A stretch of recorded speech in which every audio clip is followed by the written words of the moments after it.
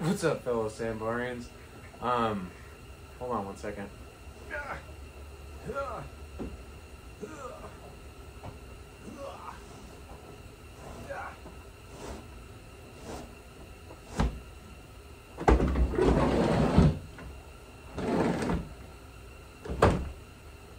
Um, what's up, guys?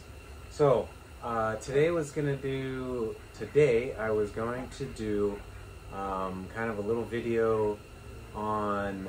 Um, maybe your van doesn't have this, so you're not aware that this. Uh, well, the grab handle, OS handle, whatever you want to call it, um, the Sambar vans, the Dias, um, probably the Domingos as well. They had grab handles in the back. Um, when I got this van um, from Larry, it did not have grab handles in it. And feeling around back here, you can uh, feel the holes where the grab handle would have been. So obviously this was certain trim packages that came with grab handles in the back.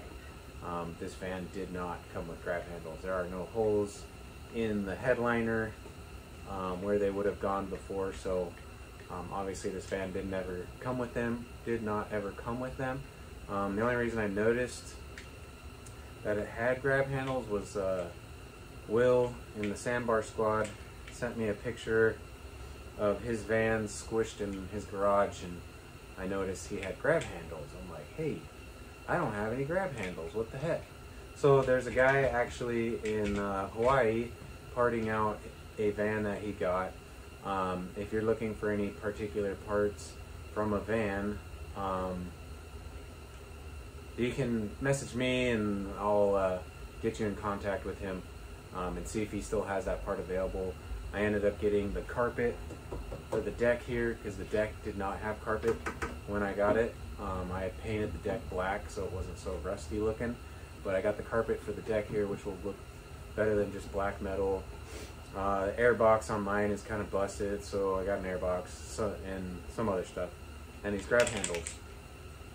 So, I was just gonna show you guys how to install them, or you know, it's not very difficult, but if you didn't know they were there, you wouldn't see the holes because it's hidden behind the headliner, and just show you how to mount them up. And I I have some of these coming from Japan, so as soon as I get them in, um, I'll put them up in the OK Garage Parts Store. So uh, if you're interested in adding these guys to the back, I mean, just kind of completes the look, I think, a little bit. Um, I will have these for sale. So, first of all, they're super nasty. These things are usually always nasty. Um, but I'm going to show you a trick on how to clean them up and make them look like brand new. So I already did clean one and then realized, ah, I'll just film it. But I still have one more dirty one. So, so it's, it's pretty nasty looking pretty ratty. So this is this is the this is the trick that I have. Take uh if you didn't know, now you know.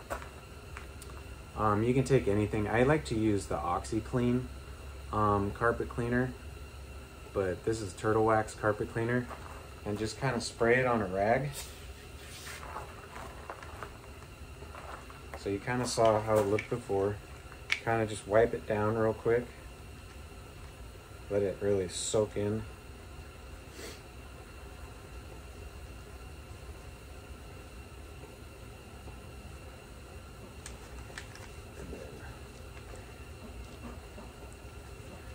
And give it a good,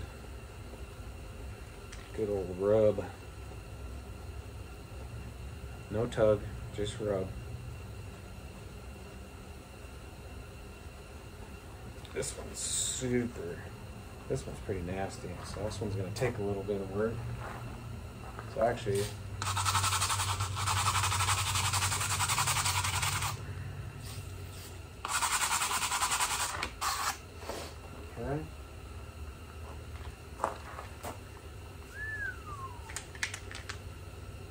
I mean, I'm sure there's other ways to clean plastics, but this is what I do.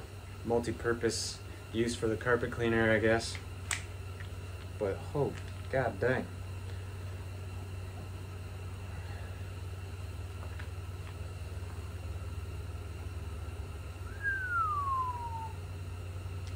I'd say that looks pretty good to me. Okay, so now that my hands are all slimy,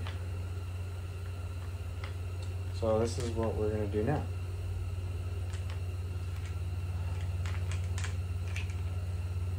So, uh, so you're gonna need to uh, pop the cover off of it, which I'll just, he put the screws in them, so I'll just pop the screws up. But when you pry these covers off, be careful. Try not to use something sharp because uh, you can damage the plastic. Leave little marks.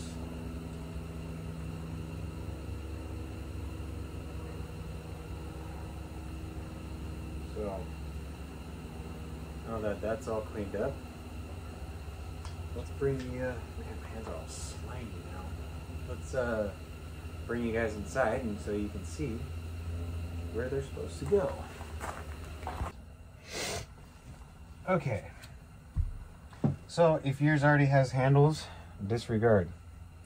Or if your handles are nasty, um, it's a good way to clean them up. So, uh, as you can see, I have a hole. Uh, I have a hole here, but that hole was for something that he had mounted.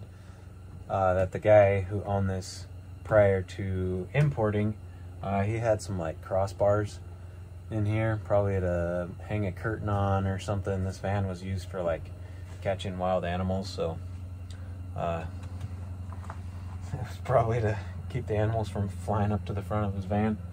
But if you feel along the top, there's a hole right here. And there's a hole right here. So those are what we're gonna poke into. So I have a handy dandy uh, utility knife. So I'm just gonna poke, put a little cross where the one is and a little cross the second one is. Perfect. So now we can uh, put them in.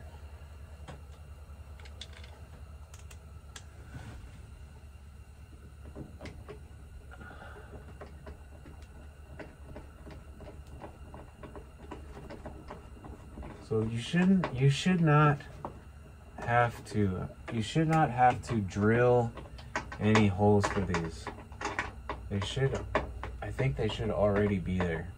So if you're drilling holes, then um, I would probably uh, make sure you're finding the right spot as to where they are supposed to go. Let's see. There, there we go.